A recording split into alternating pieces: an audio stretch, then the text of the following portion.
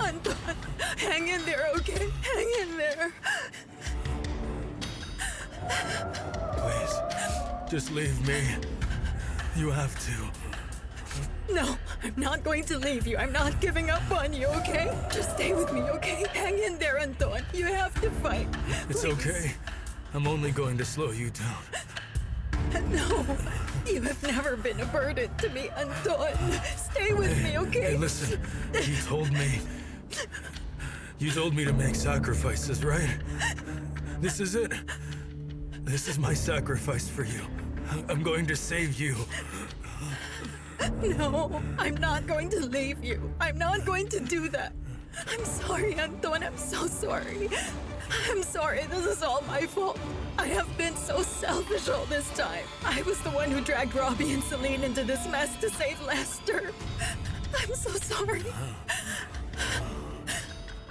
Anton, thank you for always choosing to protect our family. I can't stand to lose you, okay? You have to hang in there. Amelia. I will always choose our family, okay? Until the end.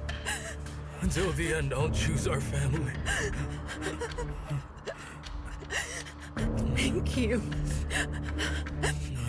I'm not going to leave you. I'm not going to leave you, but promise me you'll keep fighting, okay? I can't. Pablo, go faster!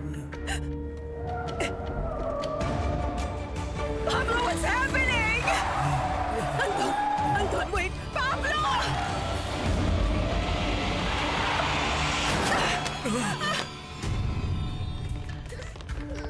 Are you guys okay? Huh? You'll be home soon. Hey, come on. Go this way. Come on.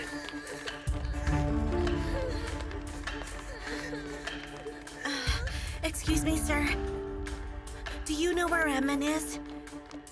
He was the one who rescued us. So you must be Annalyn. How did you get involved in this? I found Arnold in the basement of the hospital. He was confined.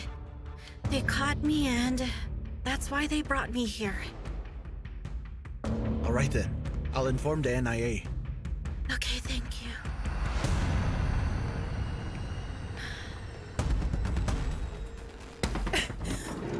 Wait right here. Help us! Help us! Amelia, just leave me.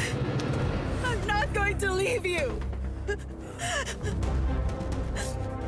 Go on.